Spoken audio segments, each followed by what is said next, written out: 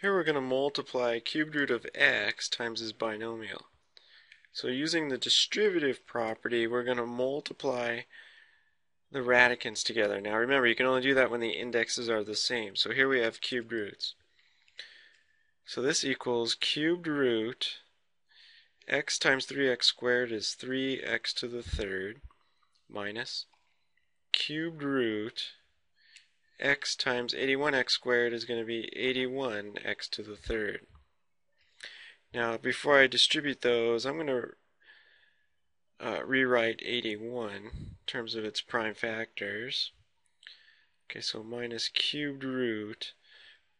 Well, 81 equals 3 to the fourth. So I'm going to write it like that.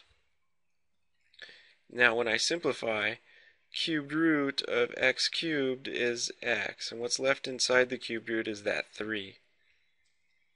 Minus, uh, looks like right here I have a I have 3 to the fourth, so the index here, 3, goes into 4 one time, so I can take out 1 3.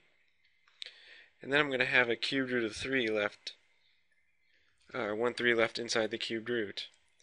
3 goes into 4 one time with 1 left over. And then the cubed root of x to the third is, well, x. And that's all multiplication.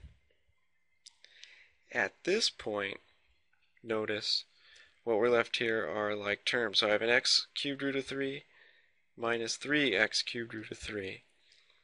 So think of that as like terms. We're going to think of this as a 1. So 1 minus 3 is negative 2x cubed root of 3.